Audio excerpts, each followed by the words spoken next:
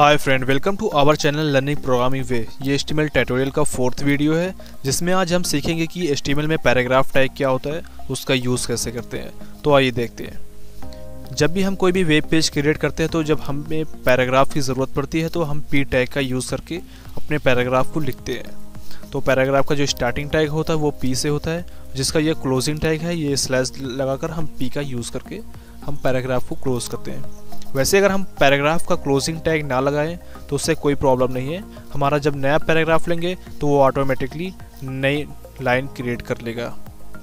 इसमें नोट्स में मैंने आप दिया है कि जब भी हमारी विंडोज़ की साइज़ अगर बड़ी होती है तो जो वर्ड कैरेक्टर हमने लिखे हैं ज़्यादा तो वो विंडोज़ के हिसाब से उसकी लाइन कम ज़्यादा होती रहती है साइज़ के ऊपर डिपेंड करता है। हम रिसाइज करते हैं तो उसकी ज़्यादा साइज़ जो कम ज़्यादा होती रहती है। तो आइए छोटा सा हम प्रोग्राम देखते हैं और उसके बाद देखते हैं कि ये आखिर पैराग्राफ का हम यूज़ कैसे करते हैं।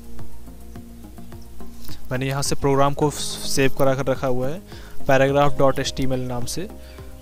और इसका मैंने प्रोग्राम लिख दिया है। पहले से मैंने एक हेडिंग टैग लिया है एच एच टू जिसमें हाई फ्रेंड मैंने लिख दिया है। अगर आपको हेडिंग टैग के बारे में नहीं पता तो हमारी पिछली वीडियो में जाए।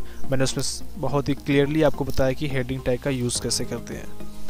अब पैराग्राफ का जो टैग है, वो स्टार्टिंग टैग पी है। मैं पी लिखता हूँ यहाँ पर, और यहाँ से इसका क्लोजिंग टैग है। पी को क्लोज कर दिया। इसको मैं थोड़ा सा यहाँ पर कर देता हूँ। यहाँ पर मैं एक थोड़ा सा कॉपी कर लिया हूँ कहीं से वो पैराग्राफ उसको पेस्ट कर दिया मैंने। पेस्ट करने के बाद इसे कंट्रोल इस करके मैंने फ़ाइल को सेव किया। अब चलिए मैं इसका ब्राउज़र ओपन करता हूँ। अब देखते हैं क्या होता है। यहाँ पे मैंने रिफ्रेश किया। पर आप देख सकते हैं कि हाई फ्रेंड ये हेडिंग हमारी प्रिंट हो रही है और जो हमारा ये पैराग्राफ है, यहाँ से लेकर यहाँ तक प्रिंट हो रहा है। अगर इसकी मैं साइज़ छोटी करता हूँ तो आप देख सकते हैं, ये इसकी लाइन ज़्यादा हो रही है। तो विंडोज़ के हिसाब से हम लाइन छोटी बड़ी कर सकते हैं। जैसे भी जितना मैंने छोटा किया, आप देख सकते हैं लाइन उतनी ज़्यादा बड़ी हो रही है। मैंने इसको ये कर दिया तो आप देख सकते हैं। अब मैं इसी में दूसरा पैराग्राफ लेता हूँ। इसको मैंने कॉपी किया, यहीं से कंट्रोल सी किया, और यहीं पर मैंने इसको पेस्ट कर देता हूँ। कंट्रोल वी करके फ़ाइल को मैंने सेव किया, और यहाँ पर मैं आकर इसको रिफ्रेश कर देता हूँ।